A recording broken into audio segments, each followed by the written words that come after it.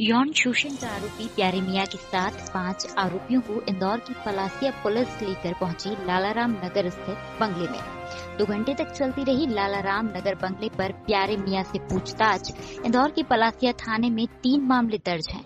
नाबालिग के साथ यौन शोषण का मामला। ट्रांजिट रिमांड पर जबलपुर से इंदौर की पलासिया पुलिस ने दो दिन पहले लेकर आई थी। कोर्ट ने पलासिया पुलिस को दो दिन के रिमांड पर सौंपा था। आज खत्म हो रहा है प्यारे मियाँ का रिमांड। इंदौर के पलासिया थाने में तीन केस दर्ज हैं प्यारे मियाँ पर। विशेष न्यायाधीश रेणुका कंचन की कोर्ट में आज पलासिया पुलिस करेगी पेश।